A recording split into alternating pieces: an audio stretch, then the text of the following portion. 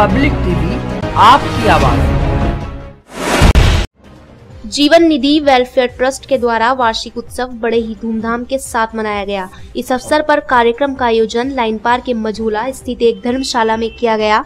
आयोजित कार्यक्रम के मुख्य अतिथि क्षेत्रीय अध्यक्ष युवा मोर्चा भाजपा राजू कालरा रहे। तो वहीं कार्यक्रम की अध्यक्षता युवा मोर्चा के महानगर अध्यक्ष धर्मेश सैनी के साथ नीतू सिंह के द्वारा संयुक्त रूप से की गई। इस अवसर पर बच्चों ने सुंदर सांस्कृतिक कार्यक्रम प्रस्तुत किए। तो वही ट्रस्ट के अध्यक्ष द्वारा साल भर की प्रगति रिपोर्ट प्रस्तुत की गई। रिपोर्ट में बताया गया कि संस्था के द्वारा समय समय पर जिस तरह के कार्य किए गए, वो समाज हित में थे और गरीब बच्चों को पढ़ाई के लिए जागरूक करना उनका मकसद था।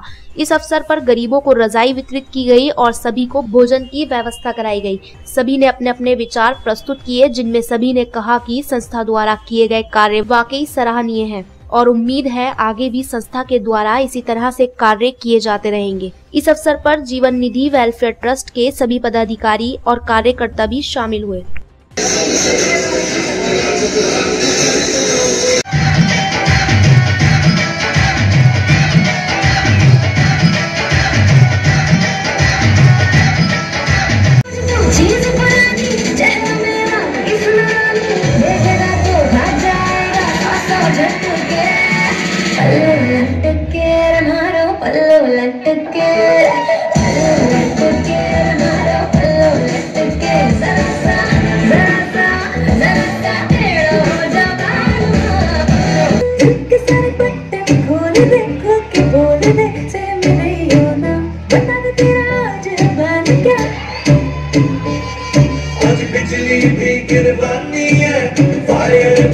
लगवानी है तो तू आके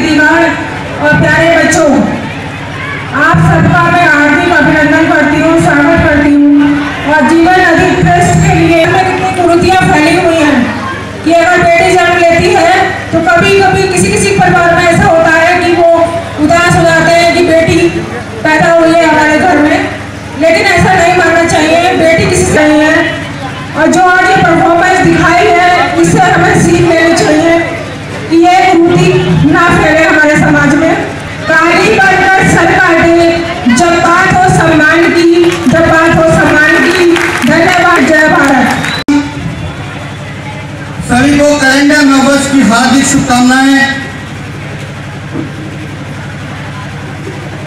कैलेंडर नववर्ष, क्योंकि आज के दिन कल से हमारा कैलेंडर परिवर्तित हुआ 2018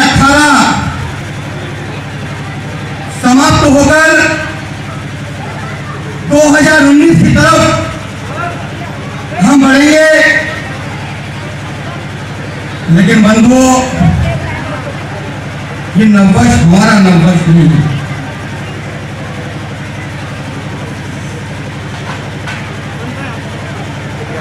इस मौसम में जो कड़ाके की ठंड पड़ रही है, मेरे देश के बुज़ुर्ग इस ठंड में ठिठुर रहे हैं। और इस ठंड के लिए बहुत से बुज़ुर्गों ने अपनी जान भी गंवाई है। महिलाओं के अपने अधिकारों के बारे में पूर्ण रूप से जानकारी होनी चाहिए और उन्हें अपने अधिकारों का, को समझना चाहिए। अगर हमारे प्रति हमारा शोषण हो रहा है तो उसे उजागर करना चाहिए। हमारे साथ कोई भी अगर छोटी सी समस्या है तो उसे अपने तक ना रखकर, समाज में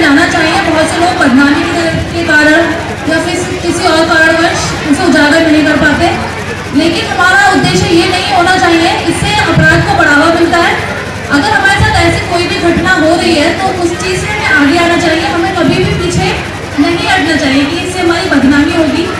अभी हाल ही में मेरे साथ अ, तीन चार महीने पहले कांड हो गया था। मैं आ रही थी मनोहरपुर से और छेड़छाड़ की घटना हुई और मुझ जैसे लड़की के साथ। अगर मेरी मम्मी ने कहा बेटा चलो छोड़ो कुछ हुआ थोड़ी ना है। आज भैया हमने नगर जीवन की बैठक करके सांस्कृतिक कार्यक्रम यहाँ पे थोड़ा किया है और जो लड़कियों को हमने बेटियों को फ्री पढ़ाया था निःशुल्क पढ़ाया था उनको सांस्कृतिक वितरण किए हैं। कौन कौन रहा है? इसमें गेस्ट कौन रहा है? हमारे गेस्ट में राजू पाल्ला जी धर्मेश भैया जी और आपके रेखा मदान जी। किस तरह का उन्होंने कार्यक्रम शो बढ़ाई हमारे। क्या मकसद रहा है इस कार्यक्रम का? हमारे कार्यक्रम का मकसद है बेटी बचाओ बेटी पढ़ाओ बेटी को शिक्षित बनाएँ।